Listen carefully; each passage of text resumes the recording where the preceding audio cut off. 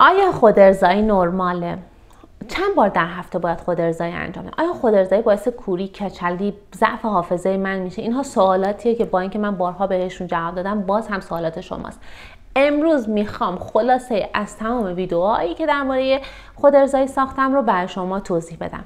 پس تا آخر این ویدیو با من همراه باشید.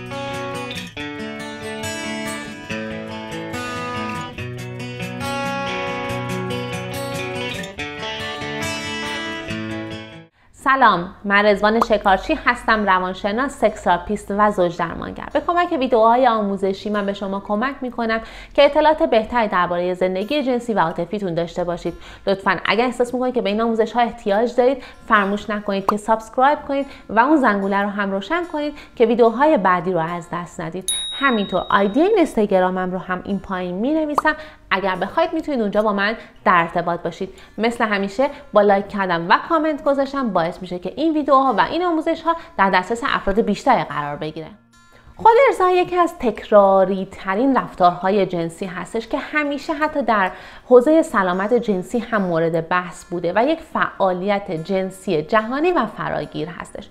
خود ارزا یکی از راه های برانگیختگی جنسی که در اون نیازی به داشتن یک شریک جنسی نیستش که یک فرد با تحریک اندام های تناسلی خودش می‌تونه یک لذت جنسی رو به دست بیاره. در واقع پدیده که نه تنها در انسان ها وجود داره بلکه در پستاندارها هم دیده میشه. تقریبا همه مردم و حدود سه چهارم از زنها در طول زندگیشون حداقل یک بار خود ارزایی رو تجربه کردن که در مردان در دوران نوجوانی شروع میشه با افزایش سن و ازدواج ممکنه که کاهش پیدا کنه. در زنها این رفتار معکوس هستش. یعنی چی یعنی با افزایش سن بیشتر میشه. در واقع و حتی ممکنه که با ازدواجشون هم تمام نشه. در واقع به طور کلی دختران مجرد نسبت به پسران مجرد کمتر رابطه کمتر خود ارزایی رو انجام میدن. ولی زنان متأهل نسبت به مردان متأهل بیشتر خود ارزایی رو انجام میدن. چرا؟ چون که بسیاری از زنان درصد قابل توجهی از زنان از رابطه جنسی با همسر خودشون متاسفانه لذت نمی‌برند. در ویدیوهای دیگه من در این باره صحبت کردم که دلایل خود ارزایی در زنان متأهل چه می‌تونه چه چیزهایی می‌تونه باشه. می‌تونید اون ویدیو رو ببینید. ببینید اگر فردی احساسات منفی مثل احساس گناه، عادتهای وسواسی و پشیمانی و ندامت رو نداشته باشه یعنی این احساسات منفی رو نداشته باشه خود ارزایی یک رفتار کاملا طبیعی محسوب میشه و حتی به رشد جنسی شما برای رشد جنسیتون لازم هستش. در واقع به رشد جنسی شما کمک می‌کنه می‌تونه یک نقش تطبیقی و انتباقی رو برای شما بازی کنه. موضوعی که در خود ارزایی بسیار مطرحه اینه که وقتی که فرد یک خود ارزایی می‌کنه احساس گناه و ندامت می‌کنه. و در هر شرایطی این رفتار رو با وسواس و استراب انجام میده. به گونه ای که در هر شرایطی می‌خواد خود ارزایی انجام بده و براش مهم نیست که در چه موقعیتی هستش. مثلا فرد ممکنه دچار استراب بشه در یک مکان عمومی هستش و در به توالت میره و در اونجا عمل خود ارزایی رو انجام میده. در واقع فرد در یک چرخه معیوب به احساس استراب گناه پشیمونی قرار گرفته و اونها رو انجام میده. استراب چه موقع خود ارزایی می‌تونه آسیب زا باشه؟ ببینید من گفتم خود ارزایی می‌تونه به رشد جنسی شما کمک کنه. اول ببینید منظور من اینجا چی بود. وقتی که شما خود ارزایی انجام می‌دید بدن خودتون رو کاوش می‌کنید. می‌فهمید که چه چیزی رو دوست دارید چه کاری رو دوست دارید چه عملی رو دوست دارید در رابطه جنسی انجام بدید. و این می‌تونه به شما کمک کنه که بعدا که وقتی که وارد یک رابطه میشید اون رو با پارتنرتون با همسرتون در ارتباط بذارید و به شما لذت بده. ولی گاهی اوقات ما می‌بینیم که یک فرد به صورت وسواسگونه داره خود ارزایی رو انجام میده.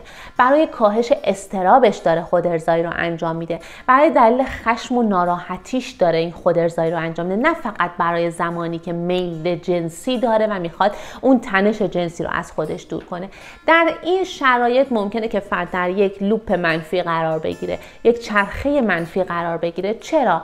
چون دائما داره به خود ارزایی انجام میده که تنشش رو کاهش بده. از یک طرف هم همیشه شنیده که خود ارزایی باشه باعث مشکلاتی میشه گناه داره و همینا باعث میشه که فرد در این چرخه بیفته و نتونه از این چرخه خارج بشه و هر روز بیشتر اسیر این چرخه بشه. اما اگه فردی که خود ارزایی می‌کنه در این لوپ منفی قرار نگیره کارکردها و کارکردهای زندگی اجتماعیش رو مختل نکنه خود ارزایی برای اون مشکلی به وجود نیاره یک رفتار کاملا سالمه.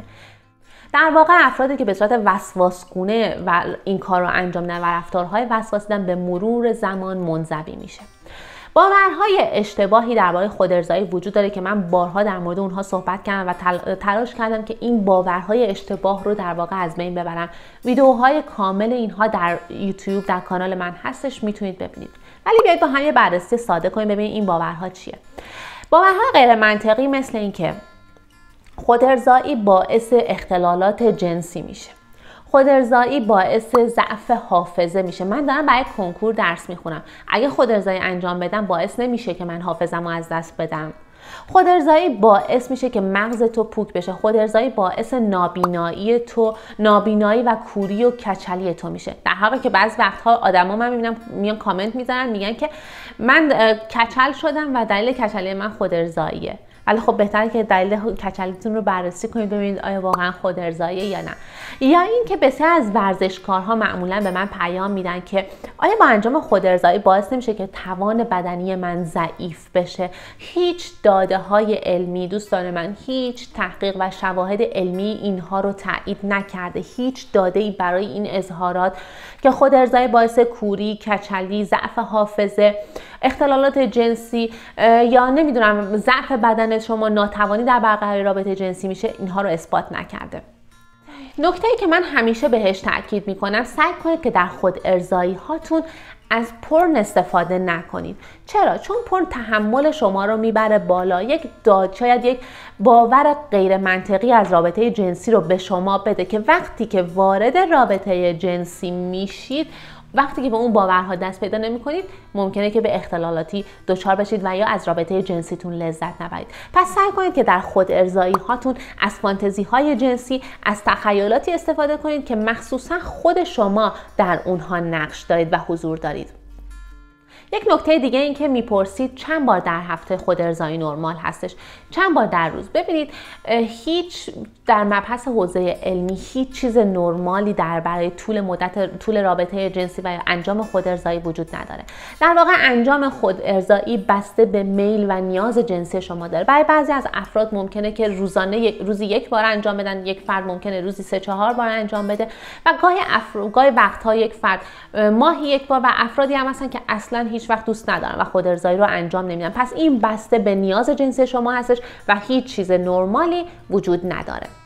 به صورت خلاصه همونطور که گفتم اگر فردی برای انجام خود ارزایی احساس گناه و استراب نداره و به صورت وسواس اون رو انجام نمیده یک راه خیلی عالی می‌تونه باشه برای اینکه تنش جنسیش رو کاهش بده. به جای اینکه در زمانی که دسترسی به پارتنر نداره در یک رابطه حالا صمیمی نیستش همسر نداره به جای اینکه بخواد از یک راه مختلف و با افراد مختلف که اون رو در خطر ابتلا به بیماری های مقاربتی قرار میده نیاز جنسیش رو کاهش بده خود ارزایی می‌تونه برای اون فرد یک راه بسیار مفید باشه. ممنون که با من همراه بودید. امیدوارم که این ویدیو هم مفید بوده باشه. لطفا اگر احساس می‌کنید که این ویدیو برای فرد دیگه می‌تونه کمک کنه حتما با اون به اشتراک بذارید. فراموش نکنید که لایک کنید و کامنتاتون رو من با اشتیاق می‌خونم. ممنونم.